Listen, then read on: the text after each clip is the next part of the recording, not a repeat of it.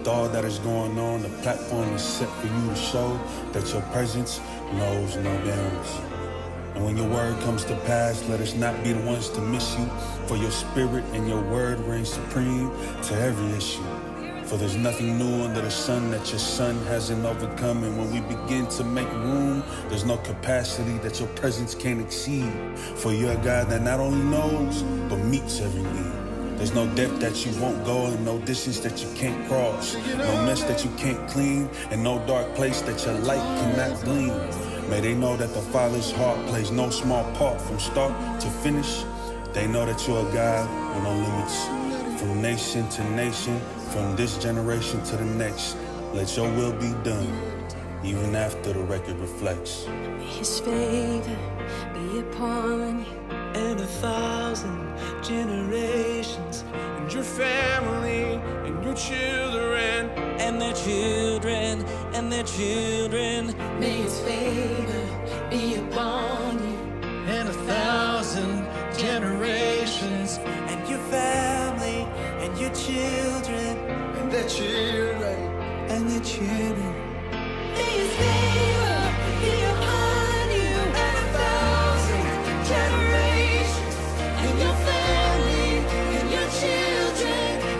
children, and their children.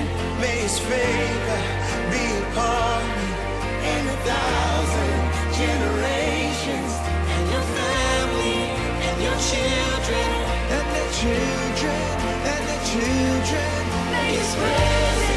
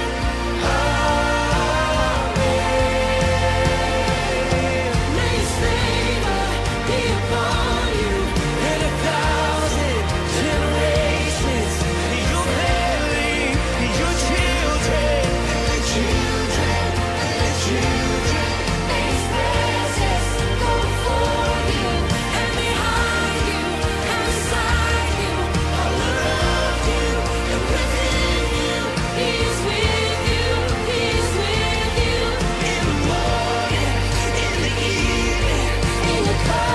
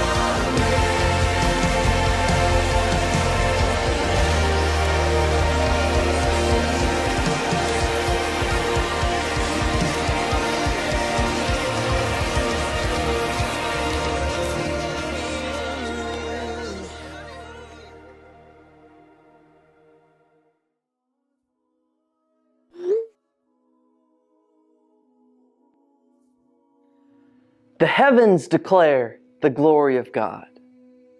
The skies proclaim the work of his hands. Day after day, they pour forth speech. Night after night, they reveal knowledge. They have no speech. They use no words. No sound is heard from them. And yet, their voice goes out into all the earth, their words to the ends of the world. In the heavens, God has pitched a tent for the sun. It's like a bridegroom coming out of his chamber. Like a champion rejoicing to run his course, it rises at one end of the heavens and makes its circuit to the other. Nothing is deprived of its warmth. The law of the Lord is perfect, refreshing the soul. The statutes of the Lord are trustworthy, making wise the simple. The precepts of the Lord are right, giving joy to the heart. The commands of the Lord are radiant, giving light to the eyes. The fear of the Lord is pure, enduring forever. The decrees of the Lord are firm, and all of them are righteous. They are more precious than gold, than much pure gold. They are sweeter than honey, than honey straight from the honeycomb. By them your servant is warned. In keeping them there is great reward. But who can discern their own errors? Forgive my hidden faults and keep me also from willful sins. May they not rule over me. Then I will be blameless, innocent of great transgression. May these words of my mouth and the meditations of my heart be pleasing in your sight, O Lord, my rock and my redeemer. Psalm 19.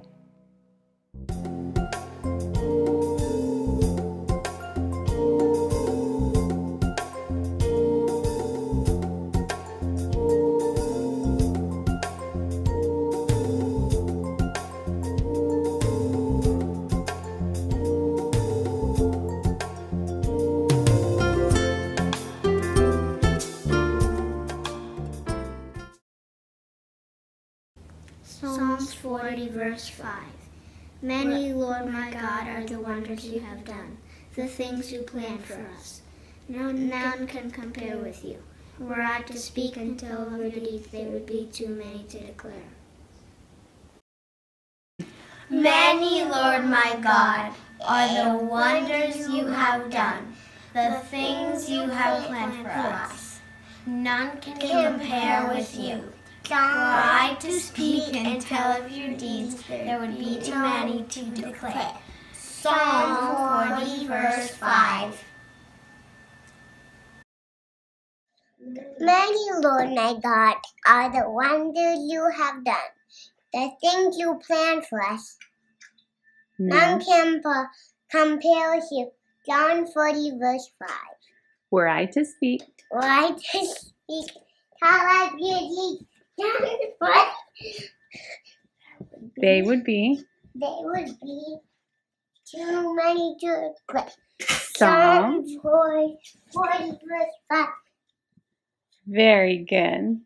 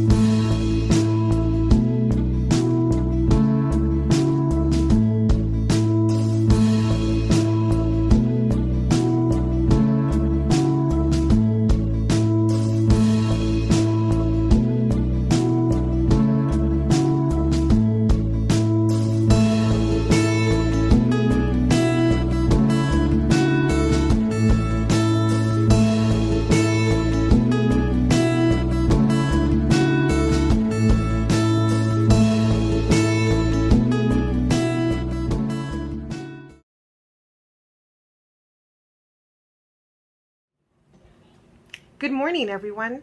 Happy Sunday. We're so glad you could make it.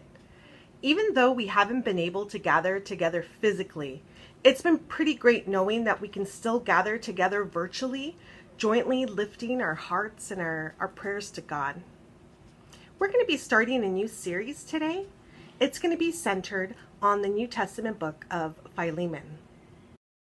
We'll also be participating in communion. Please make sure you have some bread and some juice so that you can partake in the Lord's Supper with us. If you have any prayer requests, you can send those to office at trivalleychurch.org. Or if you'd like to connect with someone right now and have them pray for you, you can hit the live prayer button that's located in the chat. We'd like to encourage you to continue to give during this time, and you can do that in two ways. The first is sending your contribution to the church building. The second is going on the website at trivalleychurch.org slash giving. As we enter into our time of worship together, I'd like to leave you with these words from Psalm 117. Praise the Lord, all nations. Extol him, all peoples, for great is his steadfast love toward us, and the faithfulness of the Lord endures forever. Praise the Lord.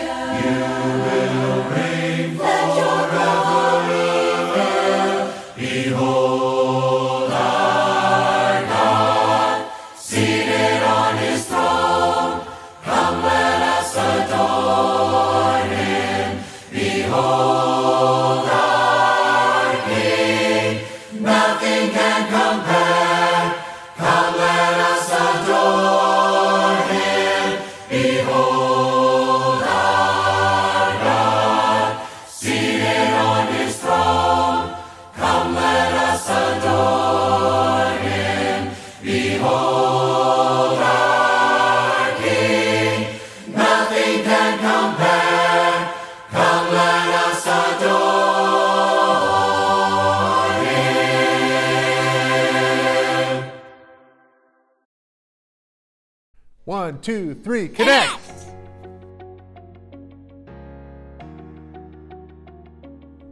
We believe that spiritual formation and growth happen best when people connect to the Lord in three areas one, on your own, two, with partners, and three, in the church. Throughout this year, we're going to highlight some examples of different ways that you can connect in each of these three areas. Today, I want to share a great opportunity to do the second one connect with partners through regular check in times with other Christians, and that is our discipleship groups. We're offering some weekly discipleship groups this fall that will meet on Zoom. Now, these small groups are designed to help you grow spiritually as we learn to trust and follow Jesus, connect with other Christians, and learn to practice the discipline of praying for one another. So, if you'd like to be part of one of these groups, you can find the sign up link on our website. Just go to trivalleychurch.org/slash adults. And stay tuned here for more ways that you can connect with the Lord.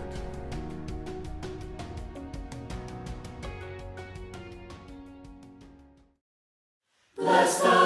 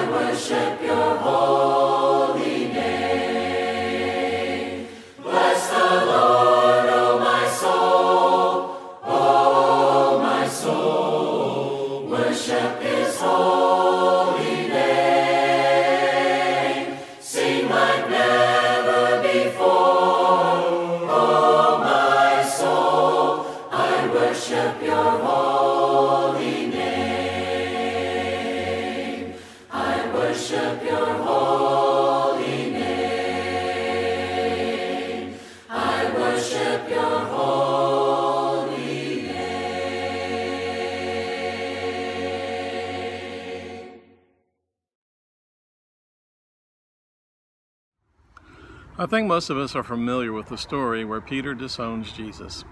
At the Last Supper, that final Passover meal Jesus celebrated with his apostles, Jesus tells his followers to remember him by partaking of what we call communion. Shortly thereafter, he tells them his betrayal and crucifixion is at hand. Peter boldly states that he will follow Jesus to prison and even death if necessary. But Jesus already knows that's not the case. In Luke 22:34 we read, Jesus answered, I tell you, Peter, before the rooster crows today, you will deny three times that you know me. Picking up the story in Luke 22, verse 54, we see what happened when Jesus was arrested just a short time later. Then seizing him, they led him away and took him into the house of the high priest. Peter followed at a distance. And when some there had kindled a fire in the middle of the courtyard and had sat down together, Peter sat down with them. A servant girl saw him seated there in the firelight. She looked closely at him and said, This man was with him. But Peter denied it. Woman, I don't know him, he said. A little later, someone else saw him and said, You also are one of them. Man, I am not, Peter replied. About an hour later, another asserted, Certainly this fellow was with him, for he is a Galilean. Peter replied, Man, I don't know what you're talking about. Just as he was speaking, the rooster crowed. The Lord turned and looked straight at Peter. Then Peter remembered the word the Lord had spoken to him. Before the rooster crows today, you will disown me three times. And he went outside and wept bitterly. I've often read this passage and imagined what that look Jesus gave Peter after the rooster crowed must have looked like. I usually see an image of anger or perhaps disgust in Jesus' eyes, or maybe that condemning, condemning look of righteous indignation that says, I told you so. Whether it was the look or the rooster crowing, we know that Peter came to a realization of what he had done, and it made him very sad. But I think these images of the expression on the face of Jesus are probably wrong. Jesus already knew that Peter would deny him, and he'd probably already come to terms with that, so I don't think there was anger, disgust, or con- condemnation in that look. I think it was a look of mercy and compassion. A look that said what happened right now does not define or alter our relationship. Jumping back in the story, back to verse 31, Jesus had told Peter, Simon, Simon, Satan has asked to sift you as wheat. But I have prayed for you, Simon, that your faith may not fail. When we come to the table to take of the Lord's Supper, we come into the presence of that same Jesus, a Jesus who looks at us with mercy and compassion, a Jesus who reminds us that he prayed for us, a Jesus who wants to be in a relationship with us. So as we partake of the bread representing the body of Jesus, and the, so we drink from the cup that represents the blood he shed for our sins, remember our Lord and Savior, Jesus Christ. Let's pray. Dear God, we thank you for this day, and Father, we thank you for this simple ceremony that helps us to remember Jesus, to remember our Lord and Savior. Father, we're thankful that when you look at us, you look with mercy, that you look with compassion, and that you offer forgiveness. Father, thank you for Jesus. Thank you for loving us. It's in Jesus' name we pray. Amen.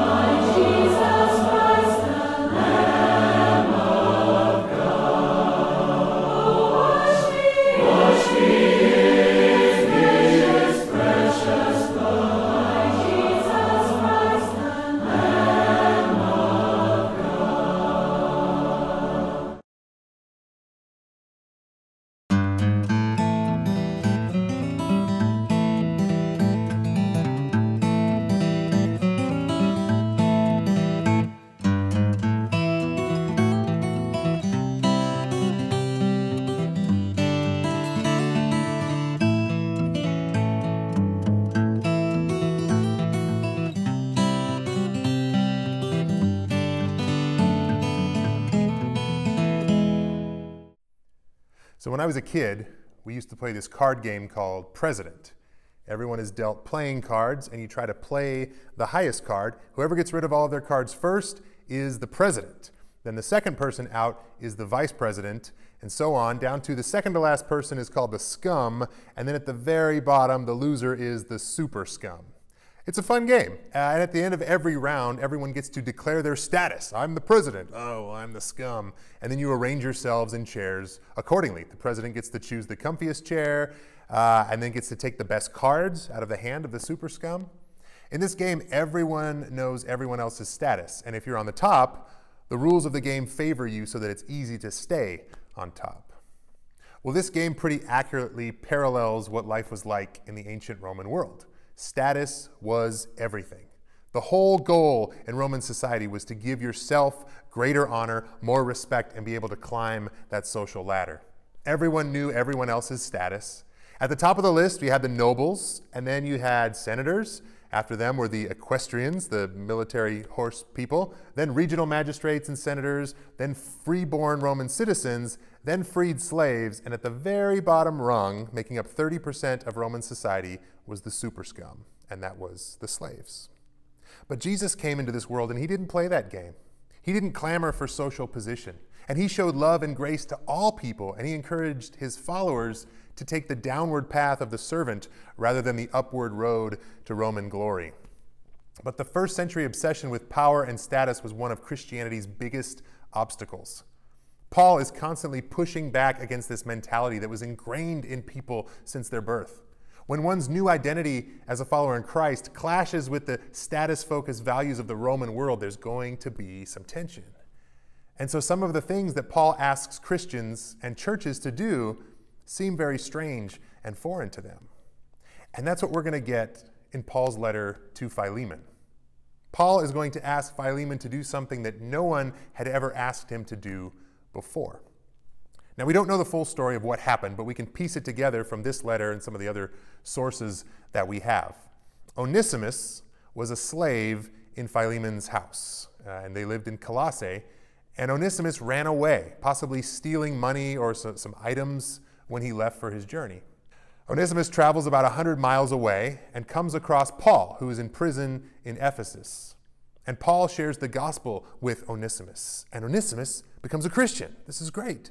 And as much as Paul would have loved for Onesimus to stay with him and have this new friend and brother in Christ, Paul sends Onesimus back to Philemon along with Paul's friend Tychicus, and he sends him with a letter.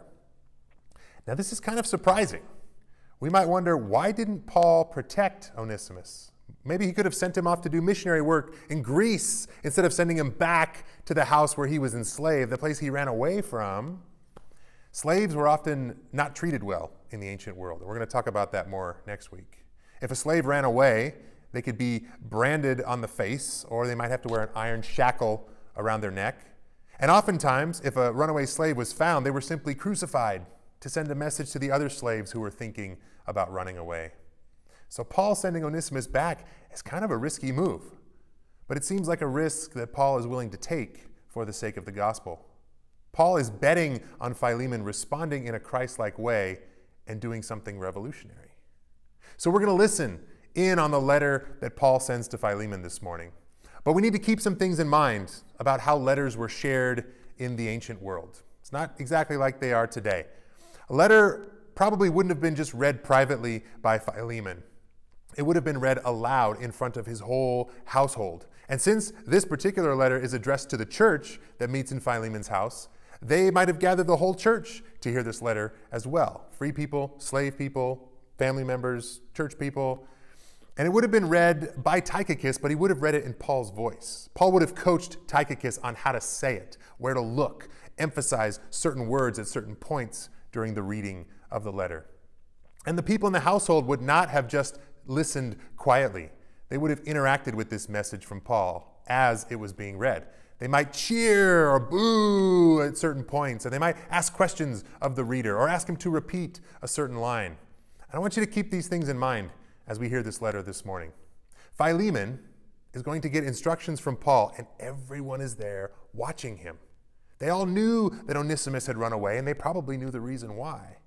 And now this letter arrives, not delivered by the FedEx carrier that you don't know his name, but it's delivered by Onesimus himself, along with Paul's trusted friend Tychicus. What's going to happen? Let's find out. So I'm going to be Tychicus this morning, and I'm going to read the letter from Paul to Philemon, but I want you to interact with it the way that Philemon's household and the church that met there would have done. So this is what I'm going to do. I'm going to divide everybody into two different camps. There's going to be the Philemon camp and the Onesimus camp. So if your last name has an odd number of letters, or then you're a slave. Sorry, you're the super scum of society. That's just the hand you've been dealt. There's nothing you can do about it. Odd number of letters in your last name, you're a slave. But that means that you're a supporter of Onesimus. And if you hear something in the letter that says something positive about Onesimus, I want you to make some noise. You can clap your hands, you can say, Yeah, right on. If you hear something that you can relate to as a slave, like Paul being a prisoner himself, you can make some noise for that as well. But if your last name has an even number of letters, then you're a free person in Philemon's household, and you're a big supporter of Philemon. If you hear something in the letter that makes Philemon sound good, then you make some noise. Clap your hands or say, Right on, yeah, that's my guy. So let's practice this. Let me hear from my Onesimus supporters. Yay! Okay, now how about my Philemon people? Yay! Good. All right, let's hear this letter together.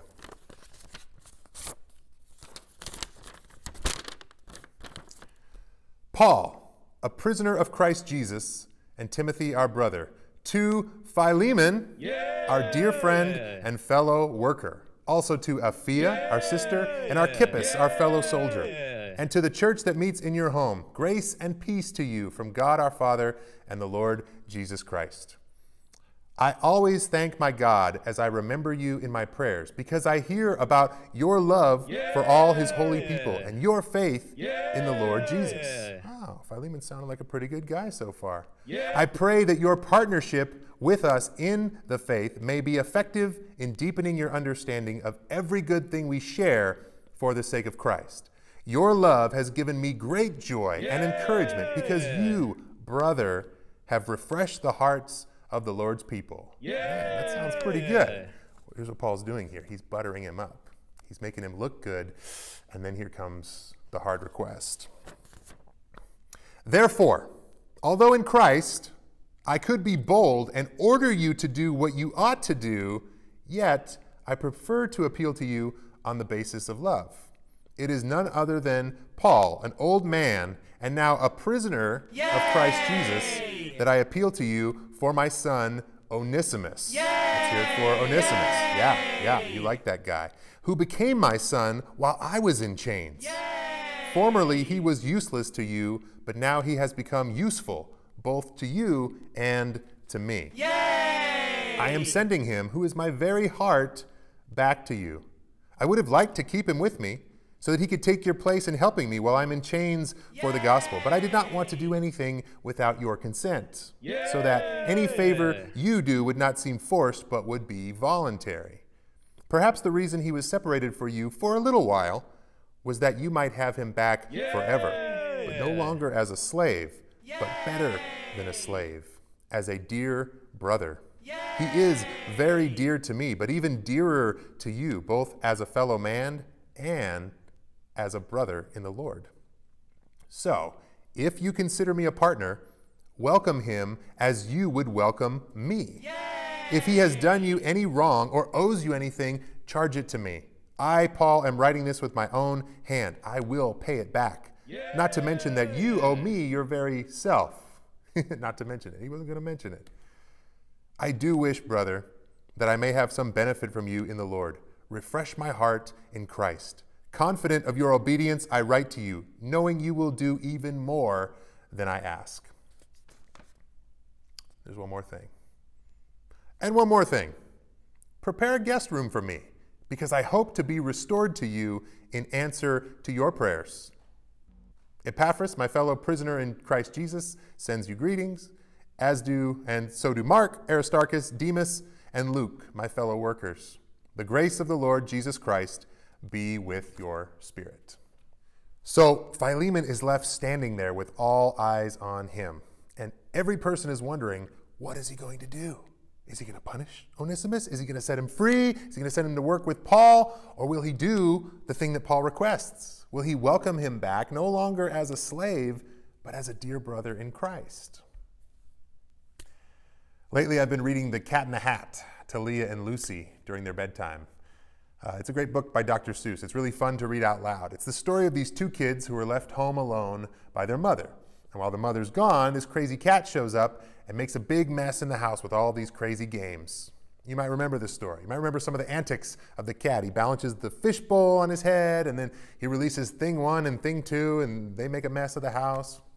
Well, the story ends with the cat leaving and everything getting cleaned up a split second before their mother comes back home.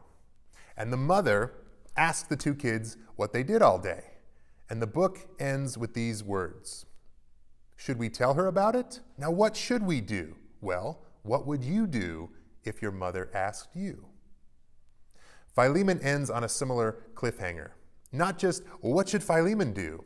But what would you do if Paul asked you? It's not just a fun thought exercise. This book points to the expectation that the gospel changes worlds. That becoming a Christian and living the way of Jesus requires you to think differently and act differently and make decisions differently than you would have otherwise. In Roman culture, status was everything. So, before becoming a Christian, Philemon's main concern would have been how do I save face in this situation? How do I get my household in order by the current standard of my peers and my colleagues? But Paul is persuading him to make love and reconciliation his main concern. And that might require Philemon to relinquish power and authority and to forgive instead of punish. And to go against the whole system of the power dynamics that was standard in Roman society. Instead of it being about status, it becomes about family. Scot McKnight says that Paul is challenging Philemon to change his status shaped community into a sibling shaped community, which was unheard of back then. No one ever would have recommended treating your slave, the super scum of society, like your brother, like your equal in this situation. But there it is. What would you do if Paul asked you? The way of Christ requires Paul and Philemon and us to deny our own rights and privileges for the sake of others. Jesus puts it like this Then he said to them all, If anyone would come after me, he must deny himself and take up his cross daily and follow me. For whoever wants to save his life will lose it, but whoever loses his life for me will save it. The book of Philemon is not just theology, the study of God and his ways. It's theopraxis, the practice of the way of God. Not just what the gospel is, but what it does and how it impacts your life. Does it make you more loving and more forgiving? Does it empower and influence you to make hard decisions that might actually cost you something? Well, we're going to let this letter challenge us for the next few weeks. We're going to dive deeper into the nuances and the implications of Philemon and ask ourselves how can the gospel challenge and change our lives in similar ways? We're going to look at what it means to relinquish power and authority. We're going to see the call for Christians to be welcoming and forgiving and to be reconcilers. We're going to talk about the sticky subject of slavery and power structures and our role in that. And we're going to see that following Jesus leads us to a new way of living, new life, and being a total new creation. And so, in preparation for the rest of this series, I want you to prepare your heart this week. Ask yourself, how is the gospel changing the way that you respond in tricky situations like this one? You might also take some time and ask yourself, who do I have power over? Your first reaction to that question might be, no one. I don't, I don't wield power. I don't have any power. But remember, power comes in a lot of forms. You might have seniority in your job. You may have more wealth than your neighbor has. You may have better social skills than someone else. You may have power or authority over someone else's finances. Are you a parent? My guess is you have some authority there. Do you interact with minimum wage workers? Be honest with yourself about your status and try to put yourself in Philemon's shoes and understand how hard it will be to do something that you don't want to do and that you don't have to do. What's it going to cost you? Each week after the sermon, I put a set of discipleship questions on our church website. Now, these are questions designed to help you interact with the Sunday message and the, and the scriptures. They're questions that our discipleship groups will be discussing, but you can also use these questions as conversation starters with the people that you live with, people in your household. You can break these out at the dinner table or when you're with your spouse or your roommate. They're designed for you to apply the principles of the sermon text to your life so that uh, you'll be more shaped by the gospel in your daily living, uh, in the same way that Paul hoped Philemon would be. So it's an important way to grow in faith and Christian maturity, uh, and it's connecting with God through partners. That's, that's number two of our one, two, three connect. So consider making this growth area a regular part of your week. I'm excited for this series. I'm glad that you're all on board with, with this, and I'm going to be praying for you throughout it. Let me close this out in prayer now. Lord God, we thank you for these words of wisdom, these words that didn't just speak to certain people at a certain time, but continue to speak to us today. And we ask that you will open up our hearts to you and to what you want us to know as we read Paul's words to Philemon. Paul's challenge to be Christ like in a situation where he may not want to be, a situation where he feels wronged, a call to be forgiving a call to show more concern for someone who society doesn't care about. That's the kind of people we want to be, Lord. That's our prayer this morning. Let us treat others with love and respect that goes beyond just what is expected or what is required. Let us live to that higher standard of Christ. We pray that your kingdom will come and your will be done here on earth the way that it's done in heaven. And may we be a part of helping that happen. We pray all this in Christ's name. Amen.